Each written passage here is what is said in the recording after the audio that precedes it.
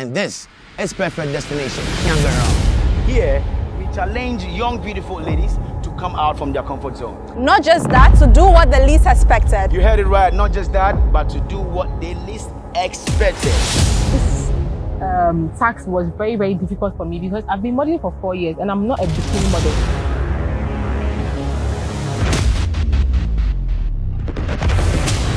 This is the highest human settlement ever in Ghana.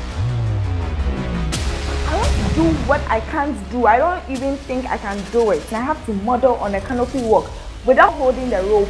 God, can you believe this? You have big ass. You can't run like me. Yes. This university, I'm going to take it 259. I was so tired.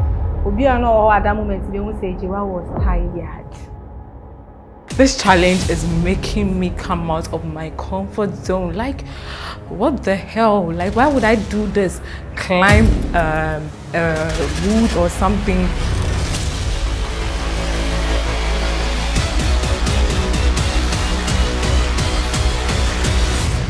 You wanna go deeper? Okay. But this is not too scary. It was dark everywhere. And you can imagine being in a river at that time. It's quite dangerous. Director Abego. Me share skirt no mfanya video ni me wi amasha dross no kwa picture director say. Hmm.